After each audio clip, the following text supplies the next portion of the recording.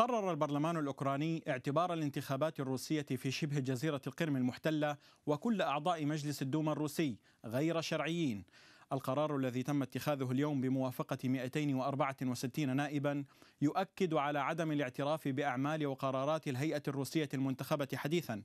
واعتبر البرلمان الأوكراني عملية التصويت في شبه جزيرة القرم بأنها مخالفة للدستور ولقوانين أوكرانيا.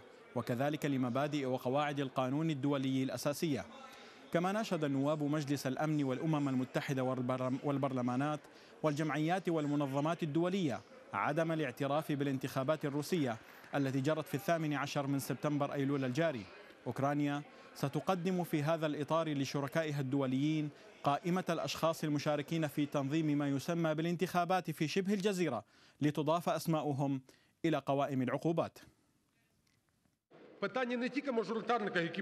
المسألة لا تتعلق بالشخصيات السياسية التي تم اختيارها في القرم فقط ولكنها تتعلق بنسب المشاركة في القوائم الحزبية. وفي واقع الأمر تم التصويت للقوائم الحزبية في الأراضي المحتلة. ولذلك فإن الهيكل الكامل لمجلس الدوما لا يمكن أن يكون مشروعا ومعترفا به عالميا. أوكرانيا في هذه العملية أخذت موقفا استباقيا.